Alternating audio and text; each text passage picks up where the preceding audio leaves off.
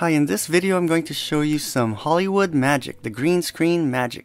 When you learn this trick, you can give yourself any kind of background. You can place yourself anywhere. Look how I can turn this clip of me with the green screen background into the following. You can be in a nice office, you can have this nice blue background, whatever it is. You can have textures like a brick or wood. And you can even be back on that one sunny day on the boat. Hi, welcome to sharingyourpassion.com. This is Chill, and let's get it on.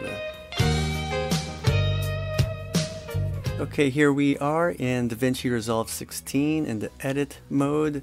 And to do a green screen video, all you need is a recording of yourself or whatever object you want with a green screen background. And you need your backgrounds, whatever background you want to use.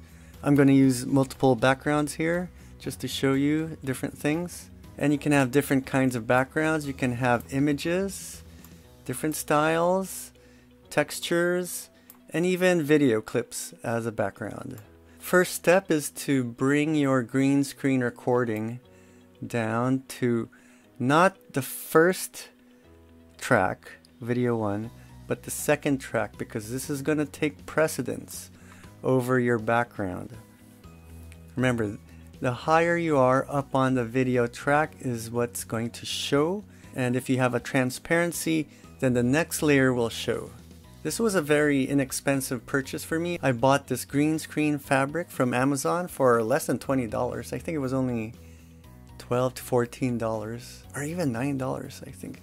And I did not buy the uh, framing. The framing might cost about $30 to $40. So I saved myself that and I just had a stick at home, mounted it on the stick, and uh, screwed it into the ceiling. Okay, and the next step we need to do is go into the color tab, the color control page. And okay, so this is where we can make changes to the colors. So this area here is called a node system. And this is the input, this is the output, everything you do in between are the things you can do to change the image.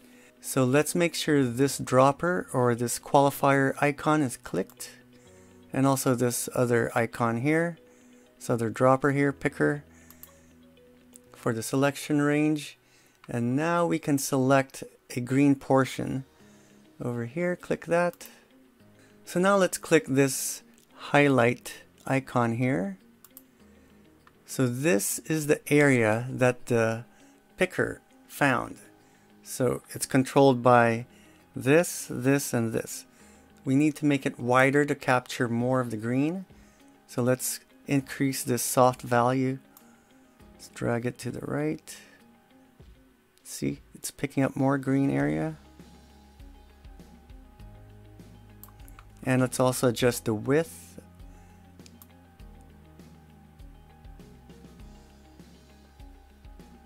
Okay, let's let's adjust saturation. Bring this left side more to the left. Okay, that helped out too. Bring the right one over, see if it does anything. Not much. Luminance, let's drag this to the left. Yeah, that helps with uh, some of that. And the right side of the luminance. This really is an inexact science. You just have to play around because however you capture the green could be really different. I mean, there's so many greens. So you need to just keep adjusting to find the right um, range to make your green screen really disappear.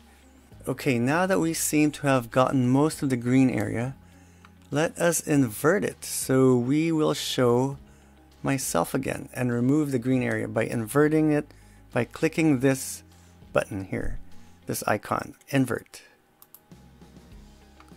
And there you go. I don't really see any green stuff around, so that should work. Okay, now we're going to create a alpha layer, or in this case, it's called, I'm right clicking and it's called an alpha output. Let's add this alpha output. So it adds this blue dot and all we need to do is just connect this blue dot which is the alpha portion of this image. Over here to activate it, these are the colors. This is the alpha. So now that we've activated the alpha output or the alpha layer, in graphic designing it's called an alpha layer. Here it's called an alpha output. Okay, let's see how this looks in our edit area. Alright, it's blackened out the whole green section. Wherever you go in my clip, it's all blacked out. We've really done a good job catching all the green parts. There might be some tiny little greenness on my cheeks and ears, but it's hardly noticeable. Okay, so now all we need to do is just add some backgrounds. Well, normally it's just one background, but here I'm just going to show you samples of different backgrounds. Let's start with an office lounge area. So I dragged it into video 1. Remember, video 2 takes precedence. It'll show, but any transparencies here means the lower layer, the lower track will show. And that's what we see here. This is the video 1 track, and I'm in the video 2 track. Okay, and let's drag another background. Let's bring this in.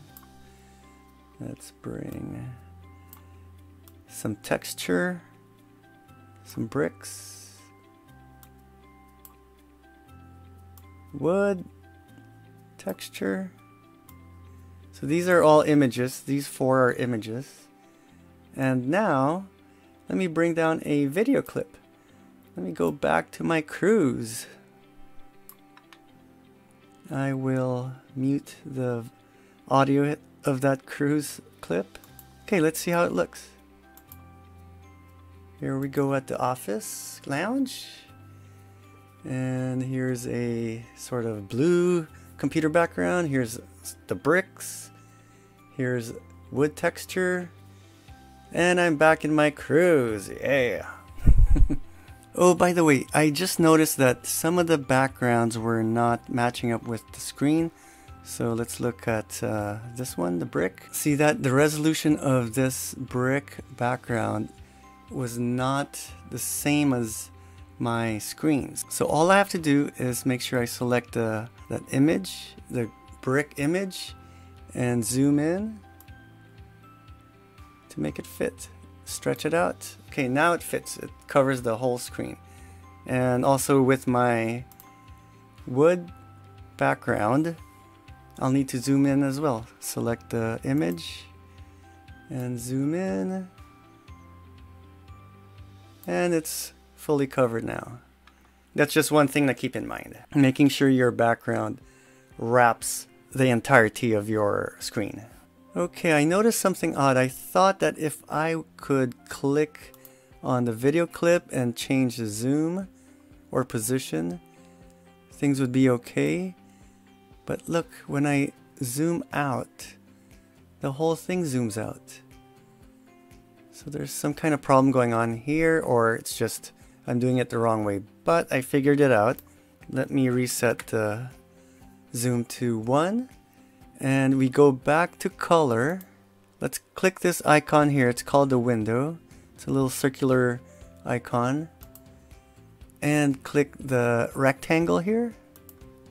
Adjust the rectangle frame around you.